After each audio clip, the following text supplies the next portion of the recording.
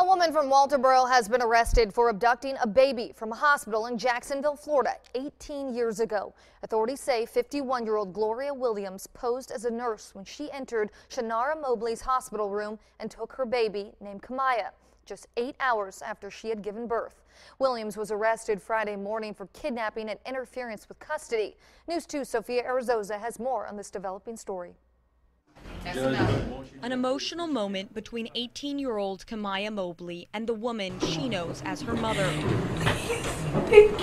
The woman who raised her now accused of kidnapping. No bond was set for 51 year old Gloria Williams. She will be taken back to Florida where a judge will set bail. For the people here in Walterboro, the news of a missing baby girl found alive in their small town is shocking. It's crazy, you know, that happened here something you hear on TV or a big city or movies type stuff. Doris Rutherford tells me she never thought twice about the family that lived in the White House down the street. Nothing suspicious. They always good neighbors and st stayed to themselves at least. Rutherford says she watched who she knew as Alexis Manigo play as a child. I saw her when she was a child, but I didn't know she was kidnapped or nothing. And then as a young woman attending church with her so-called mother. I have seen her in church, but never thought she was had a daughter wasn't hers. It was a couple, I guess. They acted in the community. Michaela Hunt also knew Manigo, not as a newborn abducted from her parents, but as a fun-loving teen. I saw her in the hallway. She was